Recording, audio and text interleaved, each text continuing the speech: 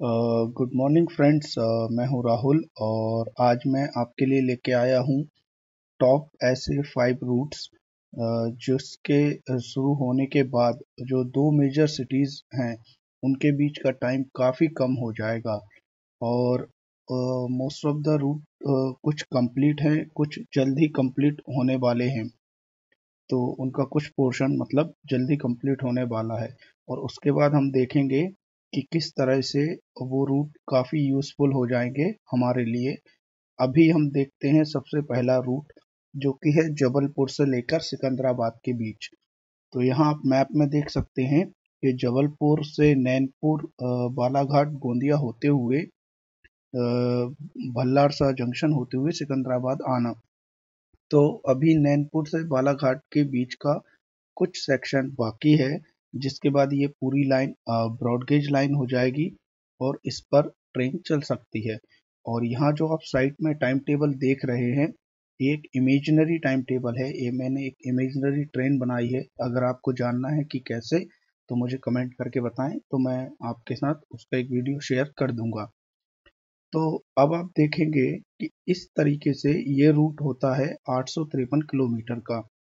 और अगर हम सफ़र जैसी ट्रेन अगर इस पर चलती है क्योंकि मैंने बोला इमेजनरी है 70 की एवरेज स्पीड से तो इसमें 12 घंटे में हम जबलपुर से सिकंदराबाद पहुँच सकते हैं। ये देखते हैं कि अभी करंट में आ, कैसे हम जाते हैं सिकंदराबाद से जबलपुर। तो अभी हमको यहाँ से वारंगल से नागपुर और फिर इटारसी से जबलपुर जाना पड़ता है। और ये तकरीबन 1119 किलोमीटर का रूट होता है। यहाँ पर आठ सौ तिरपन था, यहाँ पर 1119 है। 18 घंटे 50 मिनट लगता है और काफ़ी लंबा हमको जाना पड़ता है। यानी तकरीबन हम यहाँ पर देख सकते हैं 250 किलोमीटर लंबा हमको ये रूट पड़ रहा है। तो सिर्फ़ इतना पोर्शन कंप्लीट होने पर नैनपुर से लेकर बालाघाट तक ये नौ सौ पचास, आठ, साढ़े आठ सौ किलोमीटर का रूट कंप्लीट हो जाएगा। चलिए बढ़ते हैं अगले रूट पर। ये है हमारा पुणे से लेके इंदौर का। तो हम सब जानते हैं कि अभी अगर हम देखें कि खंडवा से सनावत तक ब्रॉडगेज लाइन का काम चल रहा है और 80 परसेंट नाइन्टी परसेंट ये काम पूरा हो चुका है। सनावत से महू तक ये काम अभी होना बाकी है, जिसके लिए न्यूज़ आई थी मैंने रेल न्यूज़ में आपको बताया था कि ये 2020 में चालू होगा और तब तक यहाँ पर मीटर गेज ट्रेन चलती रहेगी। बीच का कुछ पोर्शन हेरिटेज रन के लिए भी रिज़र्व रखा गया है। तो ये इस तरीके से इंदौर से पुणे हमारा 760 किलोमीटर पड़ता है। और ये ये भी एक इमेजनरी ट्रेन है। मैंने शताब्दी बनाई है इस जगह। और अगर शताब्दी नब्बे की एवरेज स्पीड पे चले तो साढ़े आठ घंटे में पहुंचेगी। काफ़ी ज़्यादा है, पर इमेजनरी है तो आप कुछ भी इमेजिन कर सकते हैं यहाँ पर। तो अब हम देखते हैं कि फ़िलहाल में हम कैसे जाते हैं। तो अभी आप देखेंगे कि हमको सत्रह घंटे लगते हैं, नौ सौ बासठ किलोमीटर पड़ता है और पुणे से हम कल्याण कल्याण से वलसाड वलसाड से सूरत, बड़ोदरा रतलाम, उज्जैन ऐसे होते हुए आते हैं।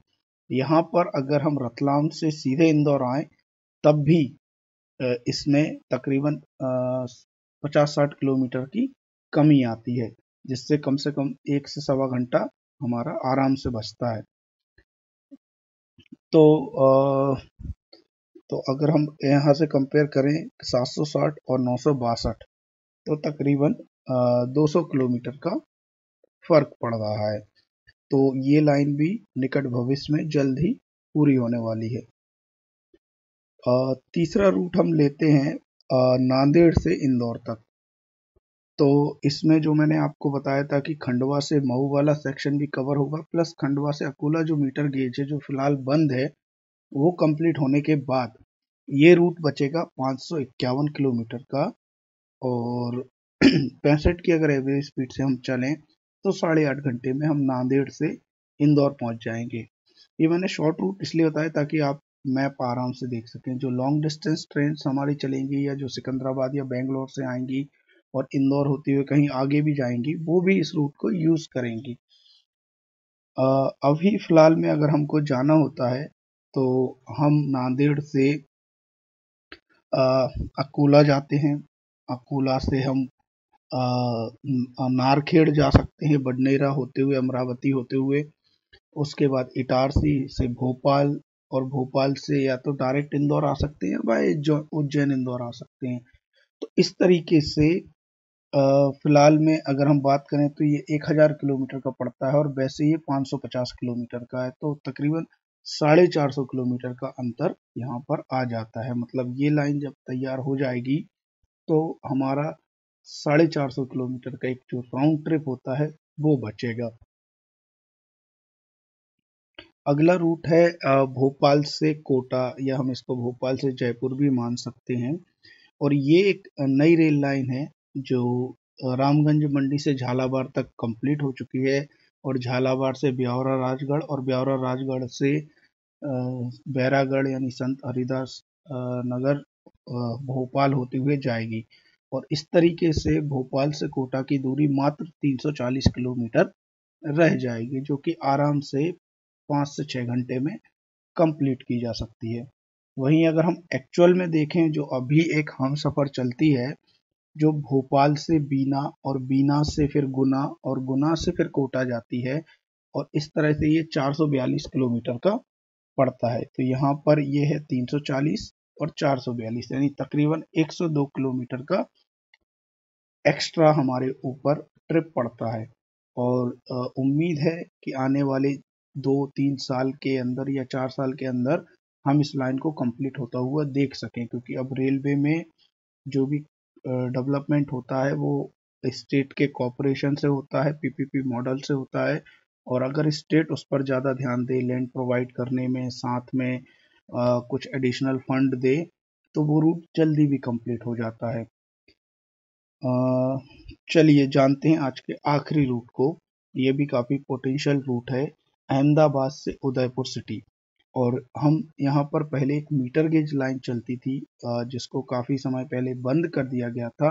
और यहाँ आप मैप में देख सकते हैं कि जो रेड रेड एरिया है, वो ब्रॉड गेज हो चुका है और जो ब्लैक ब्लैक एरिया है, वो ब्रॉड गेज अभी हो रहा है।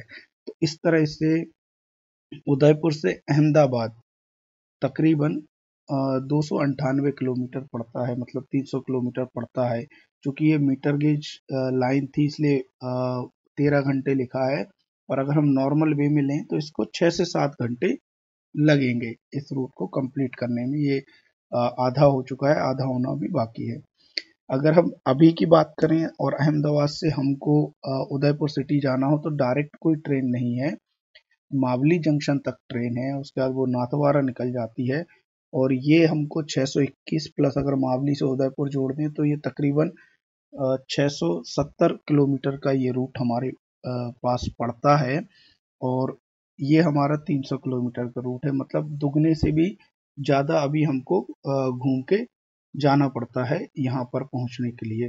तो होपफुली ये भी आने वाले दो तीन साल के अंदर कंप्लीट हो जाएगा। तो इस तरह से इस वीडियो को बनाने का मेरा पर्पज़ ये था कि आपको बता सकें कि रेलवे के डेवलपमेंट में क्या चल रहा है और इन फ्यूचर हमको कौन कौन से शॉर्टेस्ट रूट मिलने वाले हैं। ये इस वीडियो का पार्ट वन था। अगर आपको ये पसंद आया, आप कमेंट करके मुझे बताइए। आपकी नज़र में कोई शॉर्ट रूट हो, वो भी बताइए।